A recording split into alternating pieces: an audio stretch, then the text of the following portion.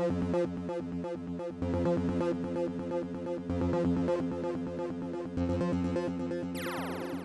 back.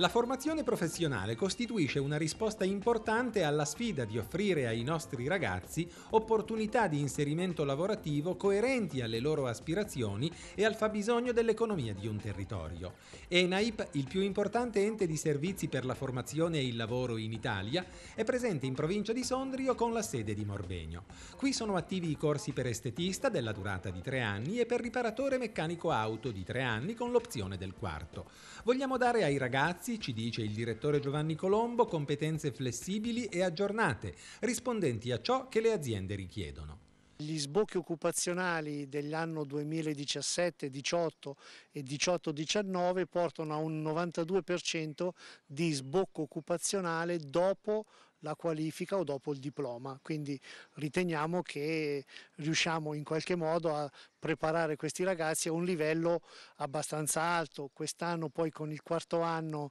nell'ambito della meccanica, quindi tutto il mondo dell'elettronica, del, dei motori elettrici, abbiamo anche modificato elevando il, i contenuti dal punto di vista professionale.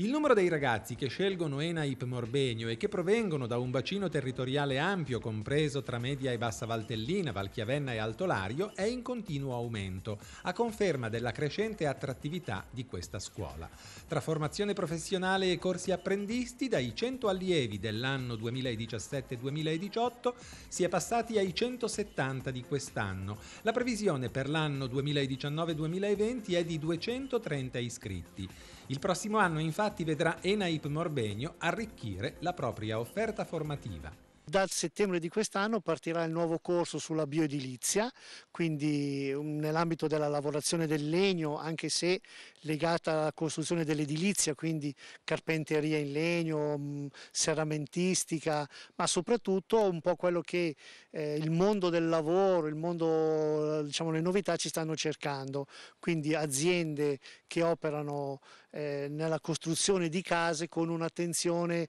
alla riduzione dei consumi energetici, all'utilizzo di materiali bioecocompatibili. Un corso della durata di tre anni con un quarto anno di completamento che mi auguro di poter eh, fare in collaborazione con il centro di formazione professionale, il PFP Valtellina, con il quale c'è già un, un buon rapporto di collaborazione anche in altri ambiti, ma in questo si vorrebbe costruire con loro un quarto e perché no, spero un quinto anno di specializzazione in questo ambito. Il corso nel settore della carpenteria del legno e bioedilizia, per il quale verrà realizzato a fianco di quello di meccanica un apposito nuovo laboratorio, costituisce una novità assoluta in Lombardia, secondo in Italia solo ad analoga esperienza avviata da Enaip in Trentino.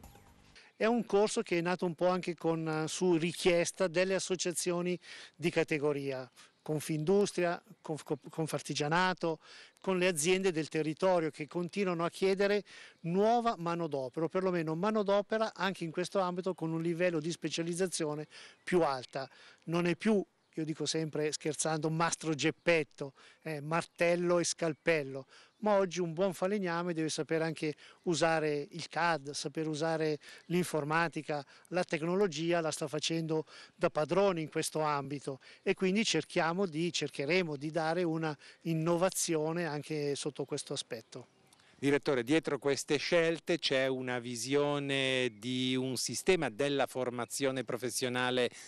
sul territorio pienamente in sintonia con il fabbisogno che il territorio richiede? Sì, da, da, dati che abbiamo come, come Eneb Lombardia, in, uh, nei prossimi anni in regione ci sarà una fortissima necessità di manodopera nel mondo del manifatturiero. In collaborazione con il PFP, che è il nostro amico centro di formazione professionale con cui, ripeto, abbiamo dei rapporti di collaborazione, si vorrebbe costituire un polo formativo nell'ambito professionale univoco. Eh, la, la Valtellina sapete benissimo, ha un'estensione territoriale molto particolare, stretta, lunga, con la zona della Val Chiavenna, la Valle di Livigno, di Bormio, eccetera, eccetera. Quindi pensare a una formazione professionale che tenga conto di tutte queste territorialità, ma anche di queste richieste del territorio, pensiamo alla zona che c'è da San Pietro di Berbenno fino a Colico, quest'area fortemente industrializzata, la zona della Bassa Valchiavenna, Gordona, Samolaco eccetera, è dove le richieste di manodopera nell'ambito della professionalità, nel mondo della professione del manifatturiero è sempre più premente. Cercheremo, ci spero, speriamo di dargli una risposta. In chiusura, direttore, un messaggio alle famiglie. La formazione professionale vale. La formazione professionale vale